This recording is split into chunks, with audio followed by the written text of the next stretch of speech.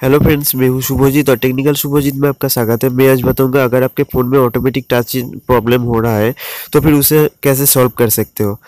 ये जो प्रॉब्लम है, ये घोष्ट प्रॉब्लम नाम के, नाम से भी जाना जाता है।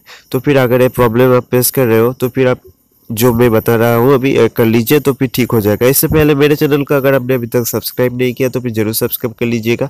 तो फिर पहले जान लेते हैं क्यों होता है। अगर आपके फ़ोन फ़ोन पर स्क्रीन पर धूल, मिट्टी जमा हो जाता है, या फिर आपके फ़ोन के अंदर पानी चला जाता है भीतर में तो फिर आपको ये प्रॉब्लम हो सकता है। या फिर आपके फ़ोन में मेमोरी अगर बहुत लो है मतलब बहुत सारे एप्लीकेशन आप डाउनलोड किया हो इसके लिए भी आपके फ़ोन हैंग कर सकते हैं, इसके रिगार्डिंग ये प्रॉब्लम हो सकता है। ये प्रॉब्लम कैसे हो सकता है? इस प्रॉब्लम जो है आपके कोई भी ऐप ऑटोमेटिकली ऑन होने लगता है या फिर किसी भी नंबर पे कॉल चला जाता है, किसी भी ऐप ऑटोमेटिकली ओपन हो जाता है, ऐसा प्रॉब्लम होता है। ठीक है तो फिर इसे सॉल्व करने के लिए आपको क्या करना पड़ेगा? पहले इसे सॉल्व करने के लिए आपको एंड्रॉयड का पावर बटन जो है इस तरीके से दबाने के बाद आपको फ़ोन को जो है पावर ऑफ़ कर देना है। ठीक है तो फिर पावर ऑफ़ कर देने के बाद कुछ मिनट के बाद या फिर एक घंटे के बाद आप पावर ऑन करके देख लीजिए, आपके प्रॉब्लम जो है, वो सॉल्व हो सकता है, ठीक है?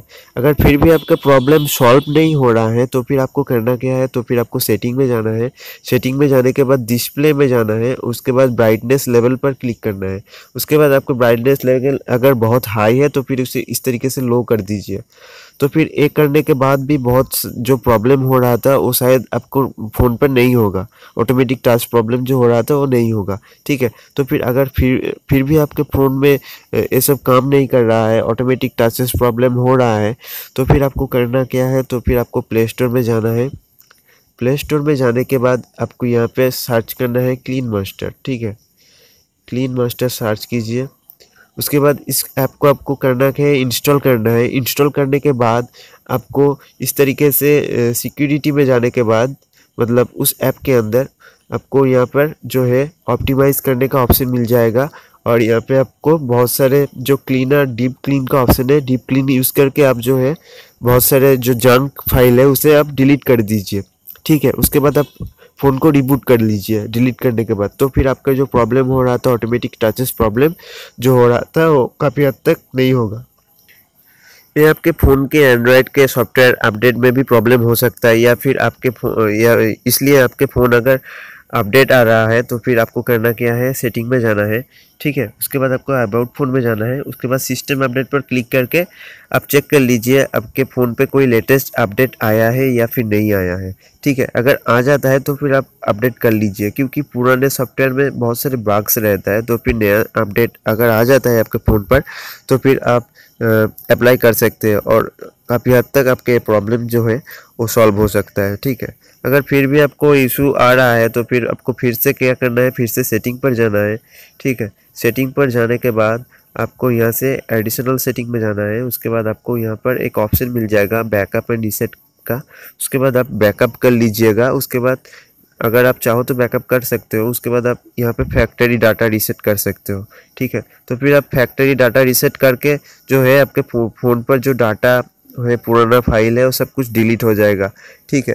तो फिर आप बैकअप ले सकते हो, उसके बाद ये फैक्ट्री रीसेट कर सकते हो। ये करने के बाद बहुत सारे यूज़र का ये प्रॉब्लम सॉल्व हो सकता है, ठीक है?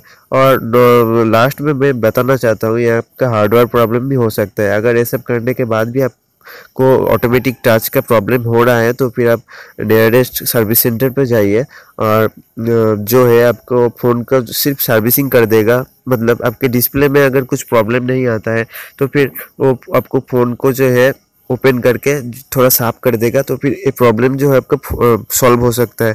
ठीक है? और आप भी जो है माइक्रोबार क्लॉथ से इस स्क्रीन को डिस्प्ले को आप जो है पोच सकते हो, ठीक है? क्लियर क्लीन कर सकते हो। और माइक्रोबार जो क्लॉथ है, वो आपको जो है चश्मे के जो बॉक्स है, उसके अंदर आपको मिल जाएगा, ठीक है?